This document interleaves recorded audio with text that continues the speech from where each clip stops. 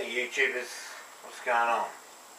Well today I'm doing the review of uh, Jerid Saffell's uh, Fermentation Nations American Slang. Uh, and uh, you can see the recipe and the brewing of it on my other video. I'll put the link in the description. But this is Tasties and off the nose you can smell, you know, you can pick up the hops. This has been in the keg a month. And as you can see, it's very clear. Very clear indeed.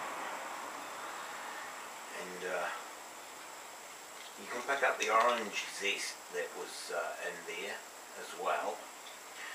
So cheers Jerid, I'm going to be brewing this again for sure. And just quietly, uh, mate, I've uh, had a wee sample of the 11 hoppy wheat and it's a winner. It's a winner.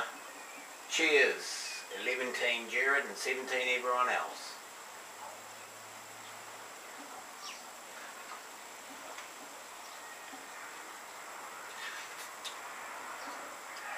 Yeah, you get those you get the hops is quite a, is quite equal to the malt in the orange zest. It's it's a good amalgamation of the the three components. The malts, the hops, or oh, the yeast are four components. The malts, the hops, the yeast, and the orange zest. And uh, in my opinion, she's a keeper. I'm not going to rate it. I mean, I, I would rate it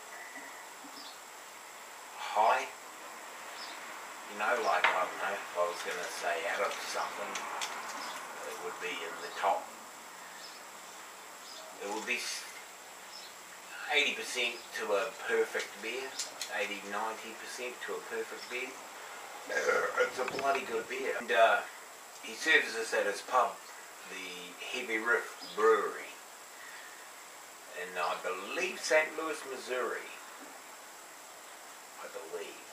Could be wrong. i have to check. But he, he's uh, he's done me a solid here. This is a fantastic beer. Anyway, I'm going to go and enjoy this and uh, Homebuilt Keezer.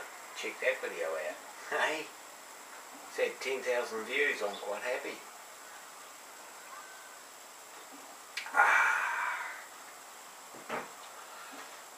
And out.